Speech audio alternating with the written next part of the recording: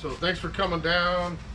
New for 23. It doesn't quite have the same ring as uh, last year's. New for 22 had a nice ring to it. But, but uh, we're always looking for new stuff for our customers. Uh, there are some pretty cool plants. I've probably got 10 or 12 on here that I'm not sure where I'm going to fit them, but I will get them when they come in.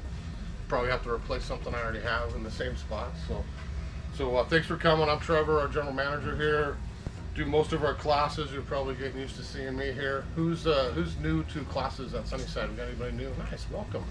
Yeah, we always have a, a nice crowd. New for new for this year's uh, exciting one to kind of get started on. Um, as I mentioned to most everybody, if you came in late, that blue link right there is our new plant site on our website. It's live as of yesterday, so there's pictures, all the information's on there. Uh, the handout would be like 18 pages long. It's a lot of plants. Um, so I did not print them for everybody. We try to save a couple trees, but you can certainly look on your cell phone during class, or most all of them will have the in a quick slideshow because there's about 135 plants on here we're going to do in 60 minutes. So how's that? We'll go fast.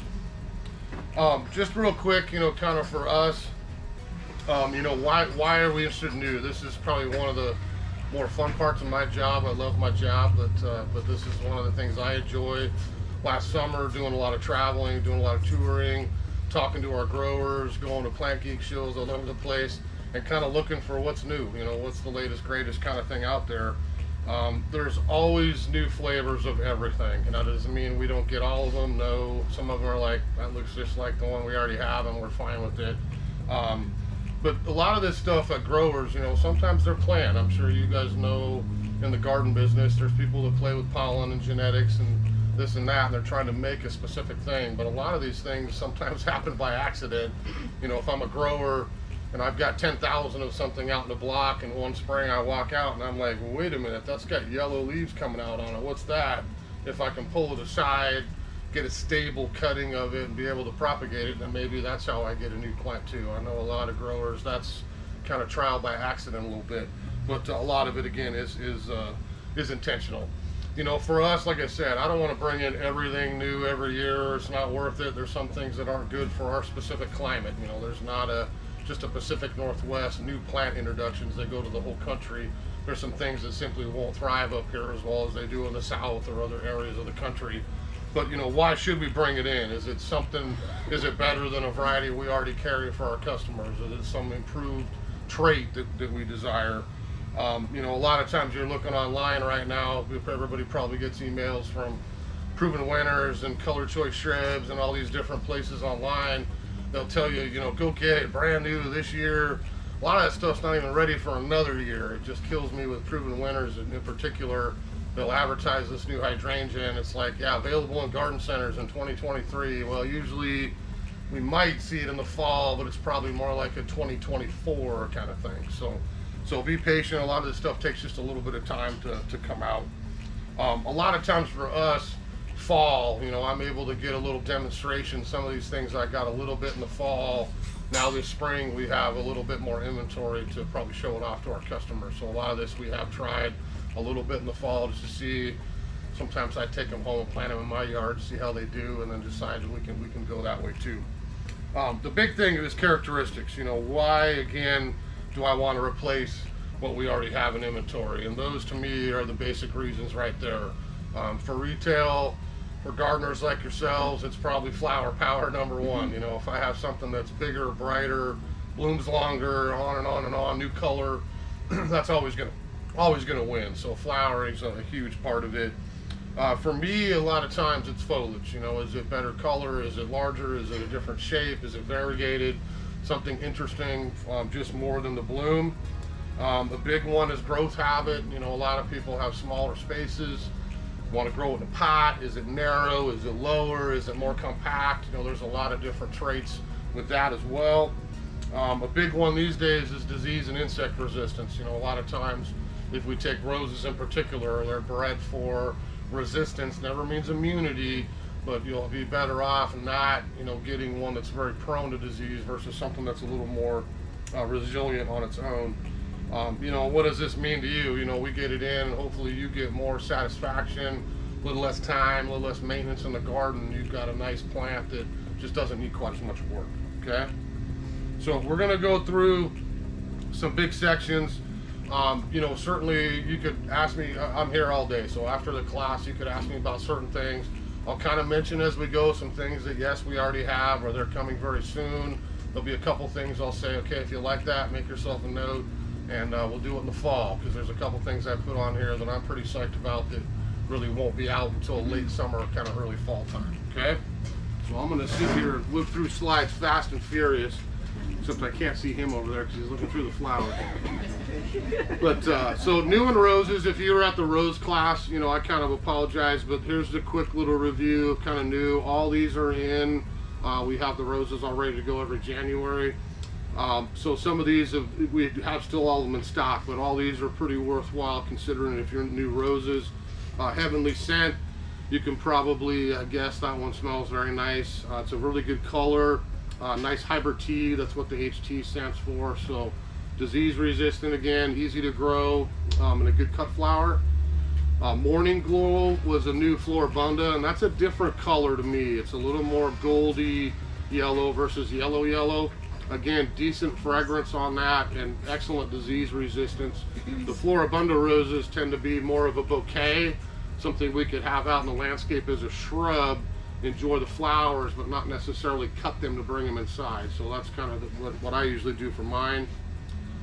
I thought both these were outstanding. These are a little different. We tried these last year. You know, we demo roses a year ahead of time before they're released just to see how they do in our specific environment. Uh, raspberry cupcake. Um, you can see a lot of the breeders are going towards that English kind of quartered, old-fashioned rose look, and these are not from David Austin. These are from uh, Star Roses, a little different grower. Raspberry cupcake smells like raspberry, believe it or not. It's a great description of the fragrance. Um, that's a nice tall hybrid tea, very easy to grow. And I thought Top Cream is one of the nicest whites I've seen in a while. For some reason, everybody is liking white for flower color again last couple years. Uh, that's an excellent new hybrid tea um, that we had really good luck with demoing last year.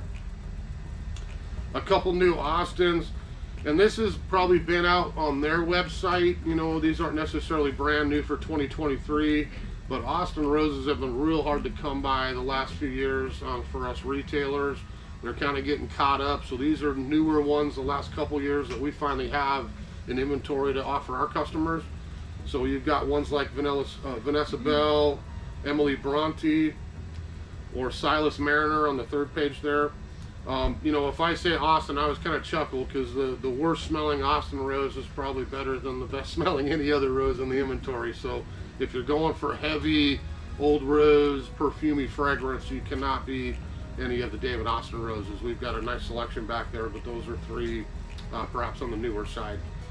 Uh, Picture Perfect, I think it's a good example of kind of a new type of rose. A lot of the breeders, you know, 20 years ago, I would have said, you can't grow that here, move to South America, it looks like an old florist rose. When we had those kind of florist shop roses that were one color, and you almost turned them upside down, and you got the, the petals underneath were a different color. So if you're looking at it, really cool kind of two-tone color effect. Um, that one's going to have cream with kind of that that corally color going. Um, but again, with breeding here over the decades, they've really got these to performing well in our local gardens now, not necessarily just in a, in a warmer, hotter climate like Southern California. Uh, Uptown Girl, I'm calling the Christie Brinkley Rose. If you're an 80s child like me, we'll just call it that, Billy Joel's song.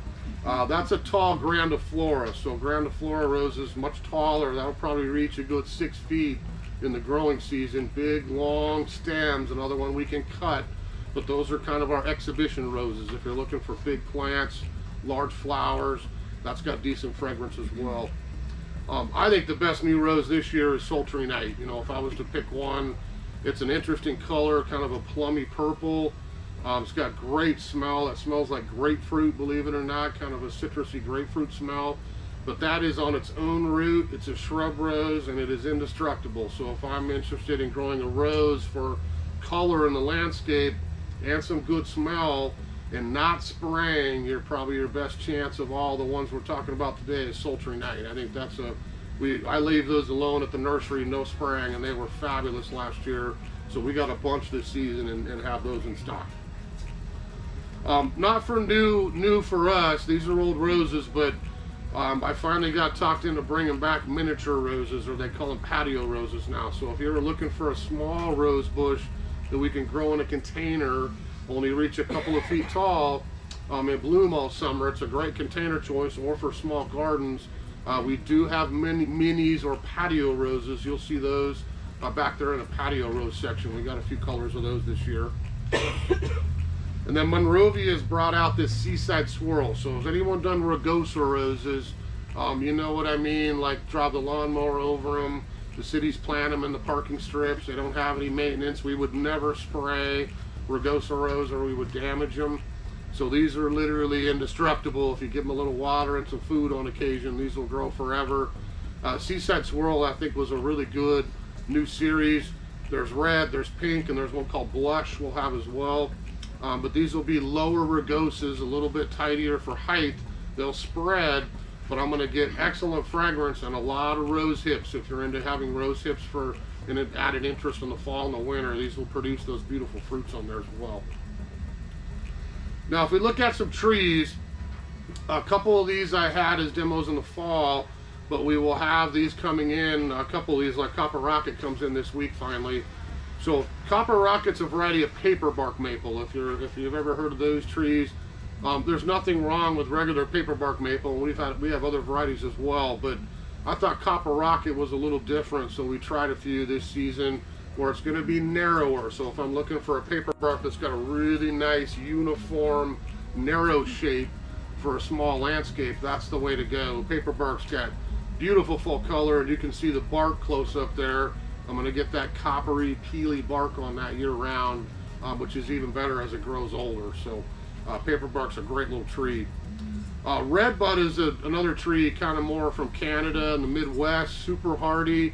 These would bloom on bare wood. So we get, before leaves come out, little redbud flowers come out on the stems. Typically they're pink or lavender in color. Uh, this has got great foliage. Golden Falls will have a weeping habit and you'll have that beautiful lime green yellow foliage all through the season and then they turn really nice fall color so maybe a, a weeping type specimen tree for a small garden this won't probably ever get taller than seven or eight feet tall and then cascade back down to the ground so very prunable uh, very manageable for, for a landscape uh, Cornelian cherry, um, ours is about to bloom. We've got a big old species one here on the property that's in the dogwood family, but it blooms yellow really early, typically in mid-February, early March, it's in full bloom. Um, I put two pictures on there because that does get the, the Cornelian cherries or the little fruits on there afterwards, which some people like. Again, an added interest for the birds. Um, they are edible. They don't taste very good, I don't think, but um, some of the, the, the, UK uses that in many different dishes. You can kind of use it for, for some cooking purposes. Uh, but this, again, the difference in this is growth habit. We have this in stock out there. They're just starting to bloom. But if you like the early blooming dogwood, the, the Cornus mas, but I want something again narrow and tidy that's not going to get so large, uh, Saffron Sentinel is the way to go. Uh, lots of new magnolias um, that have come out the last couple years. We had a little bit of these last year. This year we've got a nice stock of them. If I'm looking for yellow magnolia or tulip tree, some people call these, this will have a little bit of pink at the base, but that was a beautiful bright yellow flower. This one will have our first batch in this week, um, on Monday actually. Uh, we'll have these back in again for 2023. Um, again, a little bit narrower habit, a little, it'll still get tall, um, but probably a little narrower, tidier habit for, for a modern yard. Uh, I almost didn't put Nightfall on here because I think I have two plants, um, and we'll have more in the fall. This is brand new for this year. Um, I love foliage myself, and if I can have the same tree as another version but add some foliage interest, um, I'm in, and that's what Nightfall is. This is a purple-leafed snowbell, so I would have fragrant little white, light pink flowers in May, June. They hang down on the on the wood there, but this is going to have that dark purple foliage all through the season. I think that's a really cool landscape specimen. Again, being weeping, not very tall, very prunable, that I can kind of turn into whatever character I'd like to. A couple Japanese maples. Uh, Koto Maru is on the newer side. I added one of these to my garden somehow last year. I found a spot for it. Um, I got one in the fall. Uh, that's a small, twiggy dwarf one, so I can prune this how I want. Um, it'd be a great one for a container, but a lot of color. This one kind of comes out with some orange on it. I get another flush of orange in the summer, and then that's a picture in the fall. Uh, some nice fall color as well. Uh, mini maple, that's a picture of mine leafing out last year. Um, we've had these off and on the last few years, but they've been really hard to come by. And if you're a maple collector, you like tiny growing Japanese maple. This is the only maple we carry that is not grafted. This is growing from a seed. So every plant's a little different. They grow super slow and they're really fun to grow in pots. Mine's going on about 18 years old in a pot, which is only like this big in my landscape. I've had it out there for years. Didn't even have a name when I got mine. Now they decided to call mini maple, which is a good name. But mine is literally, if I took it out of the pot, it would be about this tall and about that wide, and that's it. And I've never pruned it. So very tidy, very small, uh, even suitable for some bonsai. Uh, a couple is Pacific Rim Collection. Um, this one is worth looking up online if you like cool maples. These are the two latest introductions from Iseli. We got samples of both of these in the fall. We ordered some more here for spring. Um, but both those are our new cross of maple. So it's not maybe as important to us here, but if we were on the other side of the mountains or in the Midwest where we can have Japanese maple, Iseli spent about 20 years breeding these Japanese maples crossed with Korean maples. So it's going to look like any other Japanese maple in the yard, but we've, we've increased our hardiness about 20 degrees the, the good direction. So a lot of these will go down like 20 below zero where typical maples are hardy right at around zero, which again, not as worried as much about us in particular, uh, but certainly options for, for others down the road.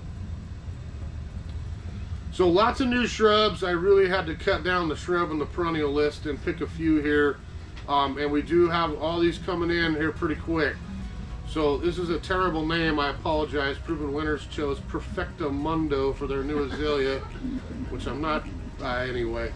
Um, this will be available in all colors. We have white, purple, pink, and red on order. We'll have probably later March they'll come in. Um, I'm always looking for azaleas that bloom more than once a year. You know, I love my azaleas in spring. Awesome if you can bloom again for me and give me another season of interest. Most of the series out, like Encore, are not very hardy in our area. We get a cold winter. Exhibit A, the last couple days, um, you're going to have damage to a lot of those Zone 8 azaleas. These go down to zone six, so I'm down there at zero and I'm not gonna worry about winter damage as much. So these would bloom double flowers, whatever color I want. Um, they're nice compact, about three feet tall. They'll take some sun, some shade, um, and I will get repeat flowering. Spring, there's about a six, eight week gap, and then I'll have bloom late summer into fall, which I think adds a whole nother interest with the azaleas. A couple new abelias, if you like abelias. Uh, we tend to like them here. They're great for pollinators, and this is an excellent shrub choice if I'm looking for color late summer and not so much in spring or early summer like most things. So this will have great foliage all through the late spring, summer, and then wham, we get into flower in more like the late August, September, early October time frame. So Tres Amigos is all about the foliage. This is gonna have a white, fragrant little tube flower, just like the other side there but that's going to give me yellows, pinks, whites, greens, different color tones um, on the foliage itself. On the other side there, Raspberry Perfection is going to have a little flush of red and be super compact, like three feet tall and tidy. It won't need shearing. If you've grown abelias, sometimes we get big archy stems out of them and they're not maybe the, the tidiest plants in the world. Uh, both of these would be the new generation, kind of a little tidier, with excellent fragrance and the late bloom on them. A butterfly bush. We love our pollinators at Sunnyside, so I'm always on the search for anything that attracts bees, hummingbirds, butterflies, anything. Um, we have to be careful with butterfly bush in Washington. Um, old-fashioned butterfly bush is illegal. Uh, they go to seed everywhere, so we search out sterile varieties. It won't matter to the pollinator but it'll matter to you because you won't have seedlings popping up all over your yard. Um, so this, these are both new series that we'll have in this year, the Chrysalis series um, and this Butterfly Candy series, a little bit shorter plants. There'll be different colors of both. We can choose our color tone. uh, from whites to pinks to blues to purples, kind of all those um, in each of those series. But both of them will be excellent choices if you like the uh, the pollinators. Uh, one of these is fall, so Autumn Rocket Camellia will be out in the fall of 23. I will not have any plants till like late August. Um, I put it on here because I think that's a total revolution in camellias. That's a winter bloomer, so that would bloom in like November, December time frame, which is awesome. But that growth habit's the difference. That's one that's going to keep a very upright, narrow shape. We won't have to prune it. It won't get super bushy. Um, we get a lot of cool camellias in, but this one I've never seen a columnar a camellia. So that's a brand new one. I think it's going to change, offer offer gardeners a little different choice for, for fall, winter bloom, and for a different growth habit. Uh, I have banana split coming here pretty quick. That's a brand new winter Daphne. Um, you can see the picture there. I got a sample. I have one at my house. It doesn't care about the cold. It looks frozen. I went and looked at it this morning. The leaves are hanging down and it's cold, but it's still fine. Um, Daphne is extremely fragrant. This would bloom here starting about now into April. Um, these love that part sun, part shade. Banana splits got superior variegation. So if you're into cool foliage, same typical Daphne flower, uh, but that's going to have the most yellow I think I've ever seen on a new Daphne. Monrovia uh, just found this last year. This is a great example. Growing a bunch of Daphne, you walk out one year like, wait a minute, that one is really yellow. What's going on with that? over the last couple seasons they were able to get it stable and introduce a brand new variety called banana split. Um, make sure with the Daphne we've got good drainage. The one kiss of death to all Daphne is too much wet or clay. So we just want to make sure we've got good drainage on those. Um, couple others. Paloma Blanco we've had around here for a couple years in limited quantities, but we'll have more this season. Um, that's a euonymus, so great sun tolerant, super drought tolerant. Um, I've used it in pots is my main thing. Um, I think it's an excellent little evergreen, small and tidy that we can add to container gardens or smaller landscapes. But if you like white, when that flushes out the leaves, that's got really good contrast between super dark green, old growth, and brand new white. Uh, that's a nice little statement plant, I think, again, especially to me for a container. Uh, there's lots of good forsythias out there. This one should be in bloom right now. Mine opened up a couple weeks ago in my house in Everett. It won't care how cold we get. Forsythia is super hardy. Uh, this is a new one uh, out of Bailey, first edition shrubs. We'll have this in next week. They're finally delivering our spring load. Um, it's just another option for Forsythia. If you like early yellow color uh, Forsythia, there's, there's some really good ones out there, but I think Spring Fling was an extremely heavy bloomer, maybe a little wider and not quite as tall if you're looking for that growth habit, but uh, certain, certainly something that can be pruned for pretty much any landscape location. Unfortunately, as I smile, lots of hydrangeas. It seems like every year there's way too many hydrangeas. We're going to have to start kicking some out of here if I keep buying new ones because I can't seem to say no to a cool hydrangea. Um, a lot of these will start trickling in a little later in spring. You're probably looking at May and June for optimum hydrangea selection. Uh, there are some really good new ones on here. There's quite a few. I'll go through them pretty fast, but uh, Tiny Tuff Stuff and Tuff Stuff Aha, you can see Tiny Tuff Stuff is like the original mountain hydrangea, so a little bit hardier than most hydrangeas. Super good fall color. Uh, most hydrangeas just kind of turn melt, you know, melt yellow and lose their leaves. These ones you would see a real heavy dose of red burgundy fall color, which adds another interest to them. They're a little hardier, like I said, than most other hydrangeas. Tiny Tuff Stuff's going to be small, repeat blooming, and tidy. That's one that we won't take up much space for. I think you keep that at three feet. Aha is going to give me double flower. So that's not the same plant. I tried to kind of fuse uh, two pictures together so you can see with these hydrangeas we can play with the pH and if we want blue that's what you're going to get in Western Washington. We have acid soil, so I'll have blue. If I want pink, I can add a little potassium nitrate or something to adjust my pH and I can pick my shade of pink as well. So keep, keep that in mind. LD is Let's Dance. It's another one. I'm not sure what Let's Dance has to do with hydrangeas, but that's what Proven Winners calls one of their series, and these are a couple uh, good new ones again. Uh, let let let's dance can do is going to be that big lace cap type flower. Again, repeat blooming, blooms on new and old wood, all the good traits of the new style hydrangeas, but a big old flower, and again a nice compact growth habit. Uh, Skyview again, pink or blue. You can see in the picture that's going to be a big round mop head flower. So if I'm looking for a huge flower on single stem, that might be one to try for Skyview. Again, repeat blooming, new, new style generation hydrangea. Some other ones, um, this is a new one called Sublime. So that is in full bloom. That's not bud. This would bloom like a lime green color, which is kind of interesting in the landscape, to be honest. Uh, that's an arborescens hydrangea, so a little bit different. Those take all the sun you have. So that's not when we put in shade. That's when we plant out in full sun or part sun. And those are a little different, little different style. They call those smooth hydrangeas. So big round flowers, little different foliage, nice yellow fall color, but much more sun tolerant than our than our than mophead hydrangeas. On the right there is PG hydrangeas. So those are paniculata or our big cone blossoms.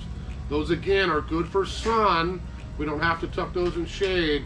They love the sun and they are easy to grow. Those are some of the easiest hydrangeas I think because they bloom on new wood so I can do whatever I want for pruning, for keeping them cut back in the spring to start the season.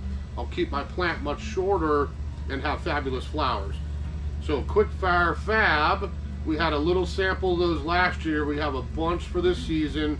Uh, that's when we'll see the multicolor flower on a super compact plant. That's probably the smallest uh, hydrangea for, for paniculatas these days. I think you'll keep that under three feet tall in the sun. The shrub of the year is Pop Star. So if I was at a geek show and a bunch of plant nerds like me were voting, that's the plant of the year that we all voted for. That was best in show at three different conventions I was at. That's the latest introduction from Bailey Nursery's Endless Summer collection. You guys have probably all tried Endless Summer hydrangeas. So Pop Star is the new one.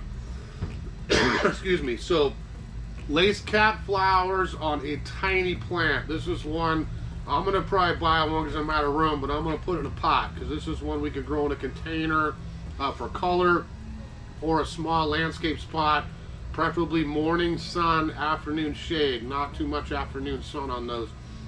But that is the smallest one I've seen, and that's what they were bred for, was super easy growth, blooming on new and old wood for maximum flower, and small stature. That, that's a perfect example for Pop Star.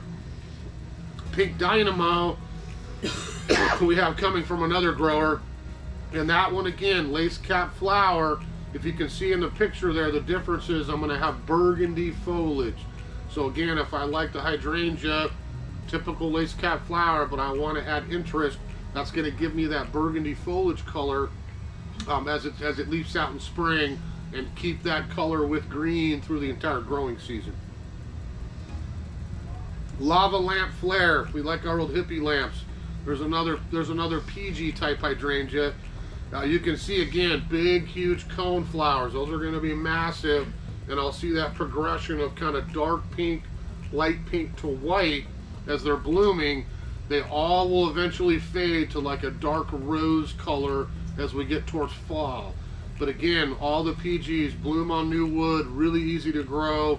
That's one that will give you a little larger plant, up there probably six or seven foot if you're looking for a nice specimen hydrangea but a big flower and a lot of them on those.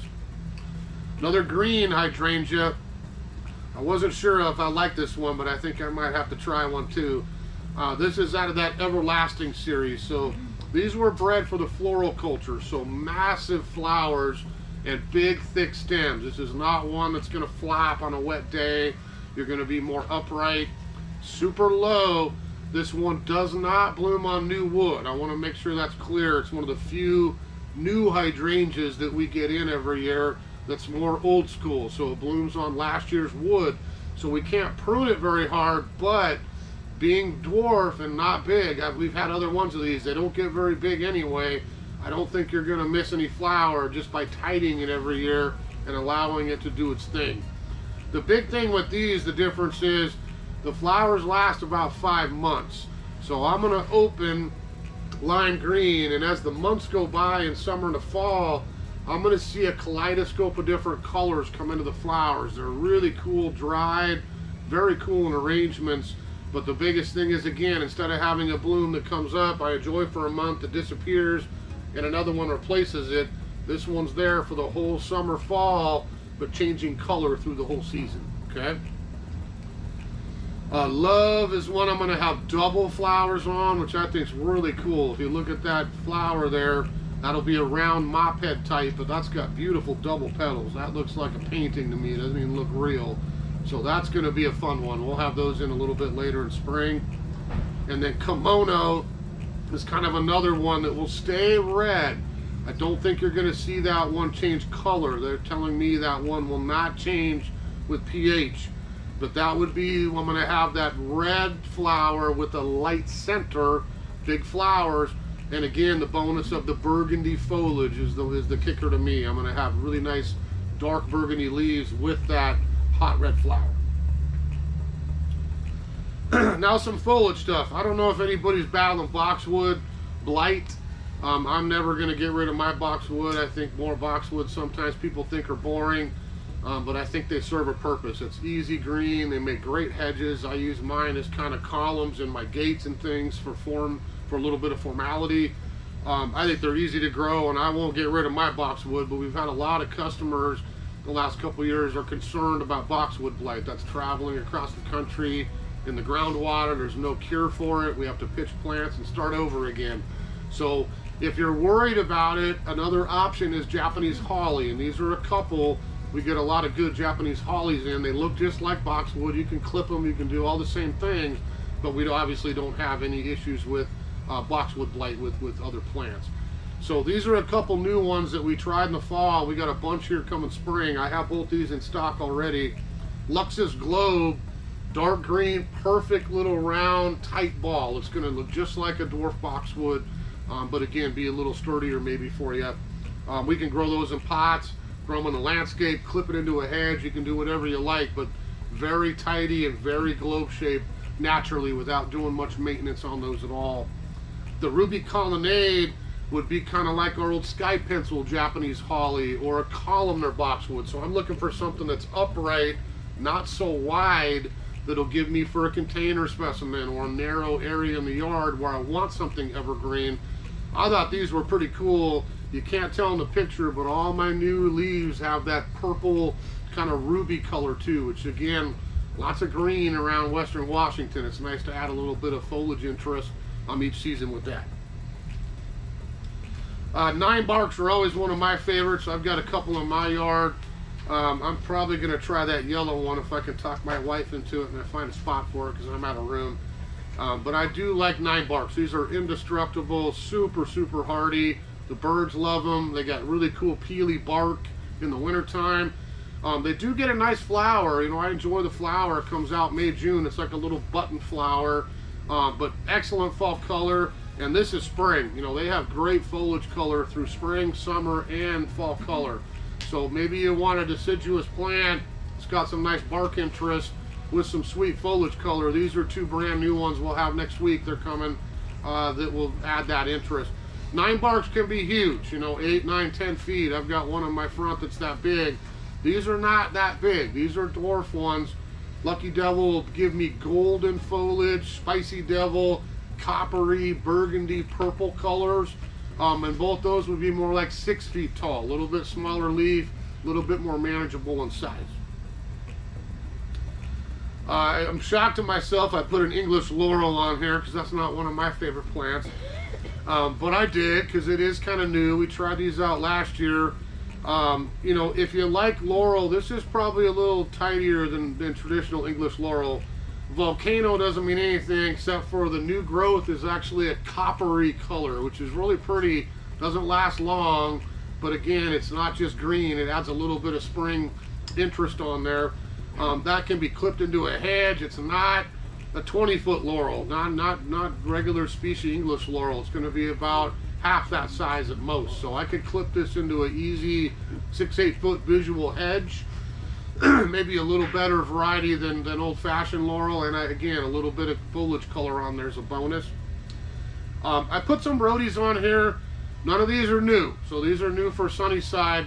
They're ones that I've been on a personal mission to make sure we had at some point. Finally this year we're going to have them. Uh, some different colored flowers. My staff might clean out of the dark one here before hopefully we'll have enough for everybody.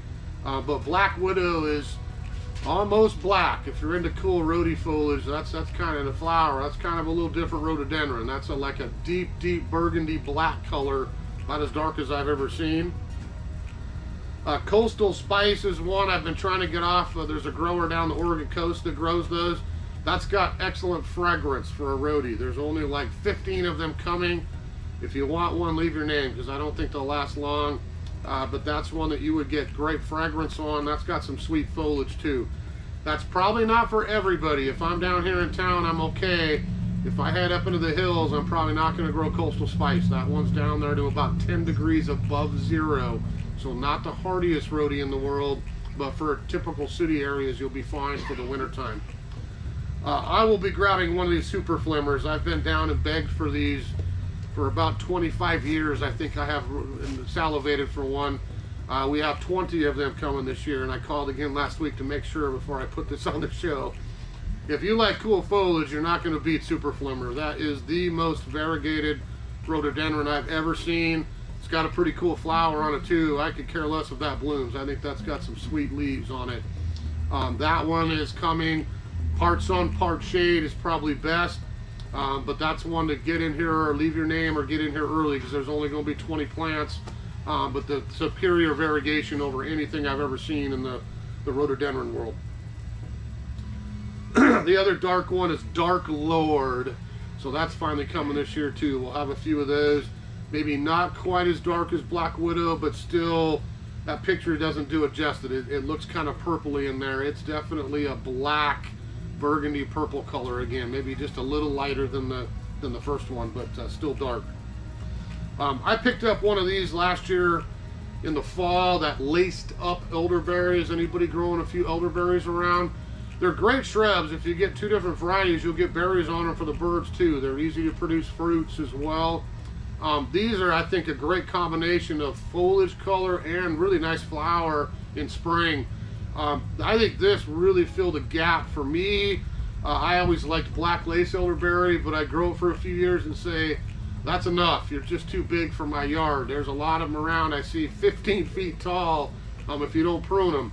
This will give me height, but way less spread. This is one I'm feeling pretty comfortable. I'll keep about eight feet tall, three feet wide without having to do a whole bunch of pruning on it. So uh, this was, I think, filled a gap for to me for elderberry because we want the, the cool foliage on it, the nice flower. If you like to pollinate, get a second variety. Really cool fruits on it for the birds, but I'm not going to eat up my yard. Uh, Cubifolia, that's an old school lilac. I probably haven't had that in 20 years. Um, I had one at our family place in Cle Elum. I haven't seen it, like I said, probably 20, 25 years, and we finally found a source for these.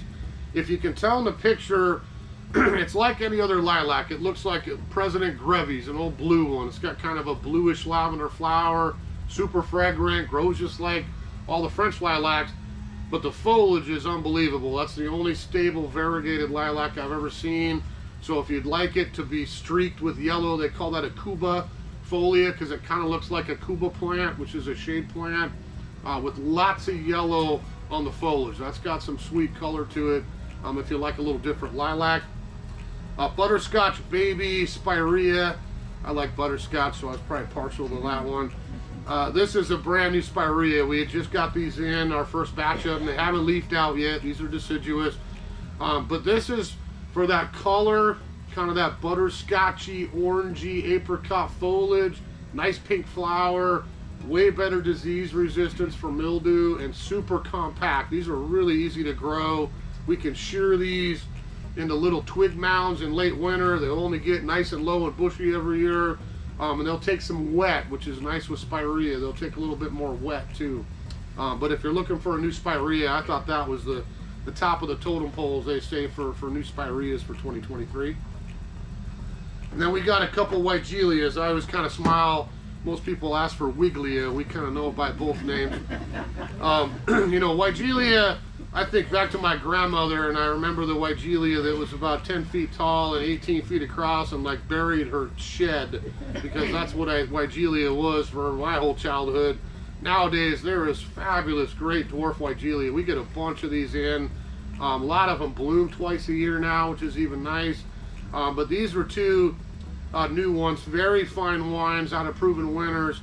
Super dark purple foliage, hot pink flower, great for the pollinators and hummingbirds. That'll be blooming like that May June time frame. And I thought the red on Electric Love is spectacular. That's not a color combination I've seen with the dark purple foliage again and the lipstick red flower. That one again I think is very low, tidy, easy to grow uh, for a nice sunny garden. Some perennials, um, lots of different new perennials. I probably only put a fraction of them on here. I tried to put a few I think were really worthwhile. Um, Agastache, or some people call that hyssop, hummingbird mint. That's a fabulous plant for hummingbirds, for pollinators. They bloom a long season, so these are going to start when we warm up in June and go all the way through the fall. I've got a couple different hyssops in my little butterfly garden off the patio, um, but that's going to offer me fragrant foliage and a long bloom time on a compact plant again. These don't have to get so tall like they used to, so much, much shorter. Um, I've already cleared the spot for three dark side of the moon astilbes for my yard, so there'll be some more here. We got about 30 or 40 coming. Um, I think that's the plant of the year to me. I love astilbe anyway. Um, it's really hard to get foliage color in shade gardens. This will give me that black purple foliage and a purple flower is the difference. I've got an old one called Chocolate Shogun. There's nothing wrong with it because I like the plant. He's going to the compost heap in the sky, and Dark Side of the Moon is going in his place this year in my yard. Um, Chocolate Shogun's got a great same foliage, but just kind of a washed out flower. I could care less if it even bloomed. It's just like, just give me the leaves. This one, I'm psyched for the flower and the foliage as well. Plus, we like Pink Floyd around here, so I'm going Dark Side of the Moon. Uh, clematis, lots of cool clematis. Um, for us, I try to stick with um, what they call the Vancouver series. so this is UBC up in British Columbia, not too far north of us, our Canadian neighbors, eh? We got that, plus Clearview, which is honestly the world's largest breeder of clematis, period. That's in British Columbia as well. Those two got together and decided to make a Vancouver series, which is a good idea on their part. So they continue to introduce new varieties in these. Um, we get quite a few of them in. I think all the ones that are available we'll have against this year. These were the two new ones for 2023 for us. Um, those pictures, it's hard to find pictures of these because they're so new. They're really washed out. That Daybreak is a lot more purple than that with the white bars and the purple stamens. That's a big flower. The Deborah Daw is a lavender color with a massive red stamen in the middle. The contrast was beautiful, the plants I saw last fall. So those are both easy to grow clematis, ever blooming, the two bloom cycles, and not super large. That's what I like about their clematis. I get reliable bloom May June, a quick little regrow, and then bloom again in August, September.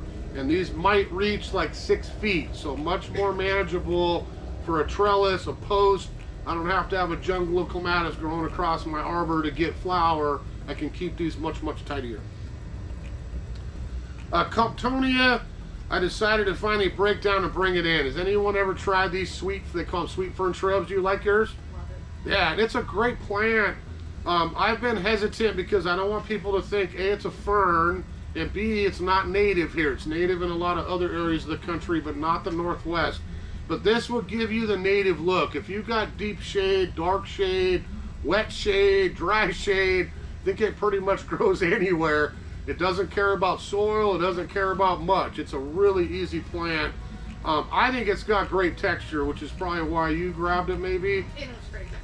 And, and fragrant too. I mean, it's a cool plant that'll colonize, so it doesn't transplant very easily. I can't buy one, dig it up, move it later. It's a tough one to transplant But if I've got an area I want to naturalize, this would be a really fun kind of old-fashioned shrub. This isn't new, but kind of new at Sunnyside. Uh, we'll have a bunch of these in a little later in spring.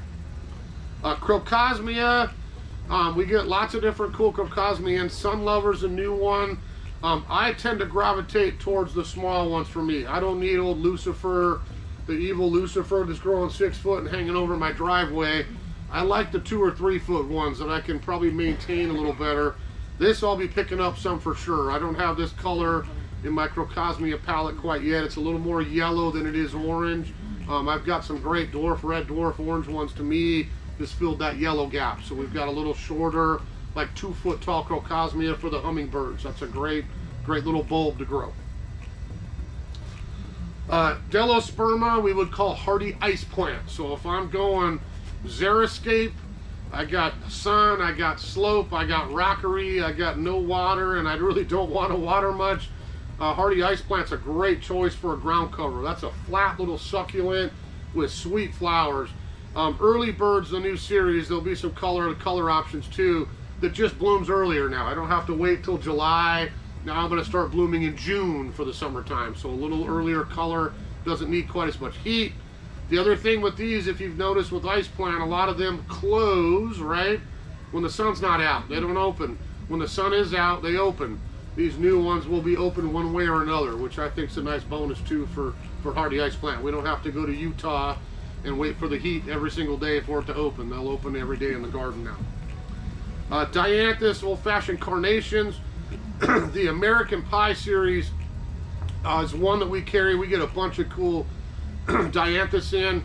These again, drought tolerant, easy to grow, low, great little perennial for rockeries or slopes or borders.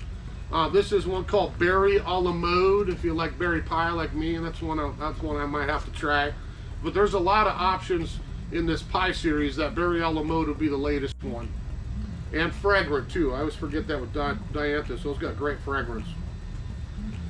Uh, some new cone flowers, always lots of new cone flowers. I probably could have put 10 of them in here. I just picked one so we didn't have to be here for two hours. I'll be honest, I've always thought double cone flowers were kind of an abomination. I was like, that just doesn't belong. They don't grow like that. The bees don't like it, whatever. I, I think this one for a double, it's not so funky looking. I might have to try one of these because I think that looks like a pretty cool uh, double coneflower. So big center in it, nice color, great ruby red, um, drought tolerant, pollinator friendly, all the cool things with coneflowers that we expect. Just make sure we got good drainage and a good sunny location. That would be a, an excellent coneflower to give a try to. Uh, epimediums, if you haven't tried those, we actually have Pretty in Pink in already. We got some more coming as well. Um, epimediums, those old bishop's caps, they grow a dry shade. They're really easy. I have these all over my backyard because I don't want to water and I have zero maintenance on them. They're really easy to grow. So this will form like a little ground covery kind of patch, maybe a foot tall at most. And then these blooms come out right now. Mine are just starting to bloom in my yard too. The flowers come out early spring and I've got really nice foliage all through the seasons. These don't go dormant like typical perennials. So I think this is one, if you've got a tough, dry shade location, look at epimediums, and in particular, I think that new one's got a great flower, that pretty in pink. I'll be grabbing some of these black and white geraniums. I've always liked the black and the, the dark foliage with the light flower on geranium. The rabbits ate my three again last year, so I'll buy three more this year. See if I keep the rabbits out. Um, that we'll have in a little bit later, but this is again a new geranium uh, from our perennial grower with deep purple black foliage and a pure white little Cranesbill geranium flower. So super hardy perennial. I would have this in sun, not shade. The more sun, the darker the foliage I'm going to get out of it. Um, but if you can keep the rabbits from nibbling them in spring, like my yard, um, you'll have this forever. This is an easy, easy perennial type geranium to grow. Um, I've always been a huge fan of forest grass. I'm still finding a place for this new one. I got to try this new one because I saw a bunch of these last year at a show, and this was the top-rated perennial introduction for 2023 by the Plant Geeks. Um, if you know forest grass, they do shade, part shade, they form nice clumps, great fall color. They are perennial, so they'll die in the winter and come back in spring. this picture might not do it justice, but it's a totally different color than any of the ones I've seen. This is combines white with yellow and green in the same blade. We always had to choose yellow in forest grass or white in forest grass. This is one that's got kind of all three in one. Um, I thought it had pretty cool color depending on what you kind of pop it with in the landscape. That would really brighten up a nice shade or park shade area um, in the garden with the grass.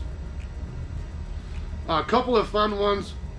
Hedychium, those are hardy ginger, so this will make you feel like you're hanging out in Bali or Hawaii in your yard for a little bit. Um, but we can grow hardy ginger up here just fine. This grows from a tuber or a bulb. We have not this one, but we have these right out in front of the nursery here. We've had them here for years, and they always come back and they always grow great.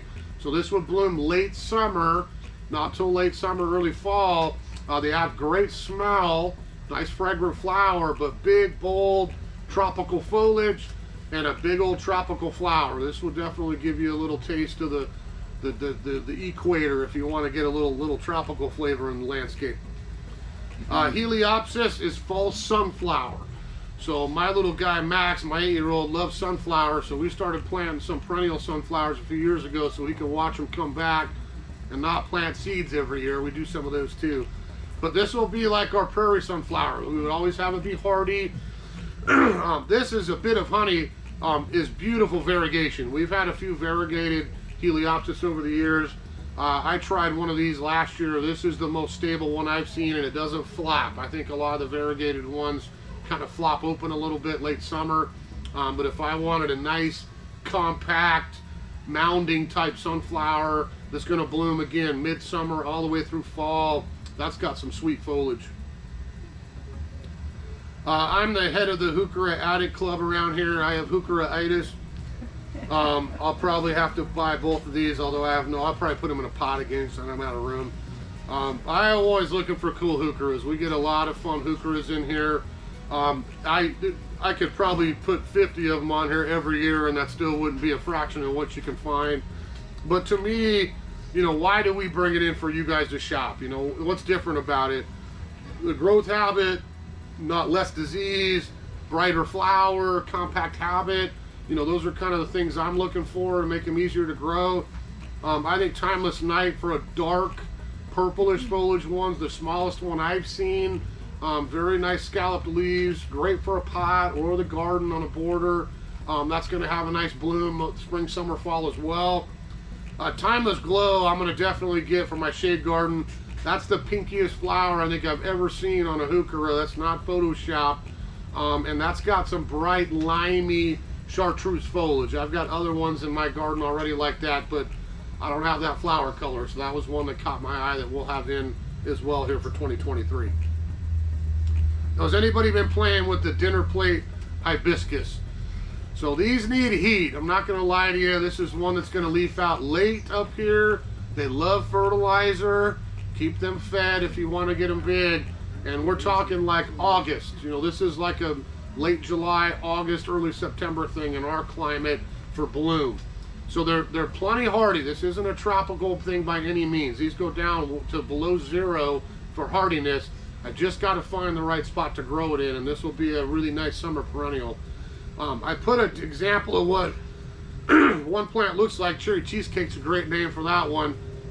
And you can see that chart. If you look on Proven Winners or you look online after class and you go to Summerific Hibiscus, you'll see a zillion options for color. You can pick whatever you want. We get probably, I bet you there's 15 different colors of these coming in here. It won't be till later. These will be like a May thing, um, but we'll have a bunch of these to choose from when they come in. Uh, some great new hostas. I have hosta addiction too, so I'm probably going to have to find a spot for a couple of these. Uh, Wu-La-La's got a great name. If you remember, Empress Wu came out a few years ago from Proven Winners, slated as the biggest hosta in existence. The leaves are monstrous. I think it grows five feet tall when you get an old plant. Um, Wu-La-La would be the sister plant to Empress Wu if I like some variegation. So that we'll call Empress Wu with color. Empress Wu is kind of just blue, uh, blue-green color. This one's going to give me the blue-green with a beautiful yellow margin on it. So I, I, I'm not saying this lightly. If you're looking for a specimen hosta, like not this little, oh, look at my cool hostas, but like, wow, that looks like a shrub in summer. Try a Wu-La-La. That's a big old plant and that's a huge leaf. Uh, Dancing Queen um, is the hosta of the year for 2023. If we like some ABBA, she's starting to sing here. We're doing the ABBA disco, right? um, this has got all yellow leaves, and I have not been a fan of all yellow leaf hostas because I think they burn or get tattered, but this is the new one I think is going to be a lot more sturdy up here. We tried this last year, and talking to some people who have tried this one, I think it's going to hold up better in our landscape. So if you want a real bright pop of yellow, um, maybe try Dancing Queen. I don't know that I'd put that in deep dark shade, if we've got that in morning sun, afternoon shade would be perfect because then I'll get the yellow with the sun on it, but I'll have that afternoon protection so it probably won't burn when we do get hot in August. Hopefully we get hot sometime, right? Uh, Dream Queen is going to give me the big old puckered leaves, another large grower. Uh, being puckered like that, maybe a little more resistant to slugs if you've got the slug infestation like most of us do in this area. Uh, they tend to stay away from the puckered or stifled foliage ones like that. Um, and I love yellow. Um, and I've tried a lot of yellow hostas. My favorite still to this day is one called Liberty. Um, and I think Autumn Frost looks an awful lot like Liberty. I'm kind of curious to see how it grows here because um, I think it might be a close relative of Liberty, which is one we always get as well. Uh, Shasta daisies, new ones again more compact, heavier blooming, great for pollinators. If you like old-fashioned Shasta daisy, uh, the Gemini is part of this new series. There'll be a few of them out. I think that's as good as anyone I've seen for Shasta daisy for growth habit. And if you like red hot pokers, you know, the hot colors in the yard, but you don't want giant red rocket junior says it all. I want a little tiny red hot poker with that grassy foliage and that hot little flower spike for the pollinators in the summer. That'd be a great addition to a sunny little uh, pollinator garden. There's always new lavenders out. this Vintro Blue, um, I made note of myself because it really was bred for us. This is a Northwest lavender that they're saying is way better with wet winters. Doesn't doesn't defoliate like sometimes. Won't get all woody like some things we've tried. Um, we got a bunch of these coming in. And I think this might take the place for English lavenders as kind of the go-to um, lavender for the Northwest. I think this one was, again, kind of bred for the Western Washington, Western Oregon, a little bit wetter spring weather. Uh, this Monardella is really cool. I'm going to be taking some of these home when they come in. They'll be here a little later. Um, that is the only plant I think I've ever in my life had in a show from Southern California. So we would not find this growing anywhere except down in Southern California. The funny part is it's hardy to zone four. So this is plenty hardy to grow up here. The kicker is going to be the wet. This is not one I'm going to plant on my little soggy border that gets filled with water in the winter. This is for your rockery, slope, a dry container, put it with sedums. I think there's some really good uses for this plant, but that is this really cool miniature. I mean, this is a little guy that's going to grow low and mound. I could have it spill out of a container, tuck it in a rockery. Uh, this would be an absolute hummingbird magnet when this blooms over the summer. So super drought tolerant, plenty hardy enough, but we got to go down into the mountains and the hills outside of Los Angeles to find a growing native. Uh, another big old bold tropical, the Musa. So that's hardy banana. If you've tried hardy bananas before, big, huge banana trees, they do get bananas on them, not like the ones you'll get in the grocery store. They do get a really cool flower with age. But if you're going bold and you want to make a statement, there's your tropical tree right there. If you can wrap the trunk and not let that trunk freeze out in the winter, I've seen Mekong Giant down around Portland at about 20 feet tall. So, I mean, this would be a big old, like, what the heck is that in his yard? I mean, a monster tropical banana tree. They're plenty hardy for up here. And even if you kill it to the ground, it's going to come back up off the root system. So you kind of start over again. But if you wrap the trunk and protect it a bit in the winter, you can have a actual banana tree. Uh, switchgrass, Um, again, drought tolerant, prairie grass, big old seed for the birds in the fall. Nice fall color. These turn rusty oranges and purples and reds in the fall. If I want a good drought tolerant grass, a clumping type, maybe three or four feet tall at the most when it's in plume in the fall, um, take a look at switchgrasses. I think prairie dog is a one that'll color a little earlier and have a superior seed count too. That was a really nice variety for 2023. Mondo grass is a short little evergreen grass. So everyone's probably seen black mondo grass around. This is not a new, new plant, but we're starting to get more and more of them in. That would be a variegated type mondo grass. So if I want to brighten up a little shady garden or morning sun, this makes a nice little ground cover or walkway edge uh, for a shadier garden with a little bit more color, and those are evergreen. Uh, Ito peonies, um, that's the new one for us this year, Pink Ardor.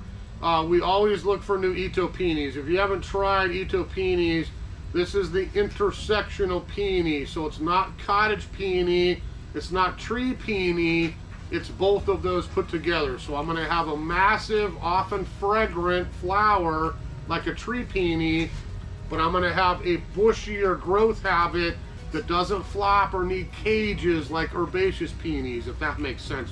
I have a couple different ones of these in my yard. I love Itos. They're not the cheapest plant in the world, I'll warn you. You're at about a hundred bucks, I think, for a big plant to start with. You can't find these a lot of times as starts. They take a long time to bloom. But if you're gonna make an investment, you like peonies, look at the Itos in particular, that Pink Ardor is new. Uh, some fabulous flowers and some really nice plants. Uh, gardenias, old school peony that I relocated. We used to have these years ago. Uh, that is probably at the top of the fragrance list. That's a herbaceous peony.